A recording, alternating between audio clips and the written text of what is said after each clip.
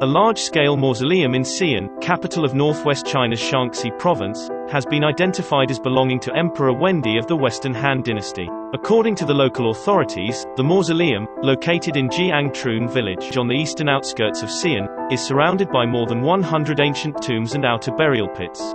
The mausoleum has no grave mound but has four ramps leading to the entrance of the burial chamber placed 2 to 4.5 meters underground.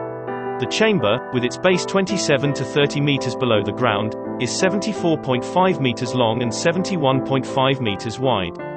形制、外藏坑、陵园等等，推断江村大墓就是汉文帝发的。 Excavation has been carried out in the area since 2017, with numerous relics unearthed including dressed pottery figurines, crossbows, and official seals.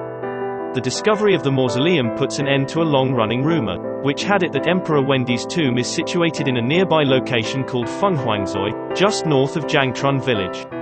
The rumor emerged due to the discovery of an ancient stone tablet with inscriptions in Fenghuangzui. However, archaeologists did not find any signs of construction in Fenghuangzui during their investigation and concluded that the area is nothing more than a naturally formed Loess Ridge. Emperor Wendi, with the personal name Liu Heng, was famous for his frugality and benevolence.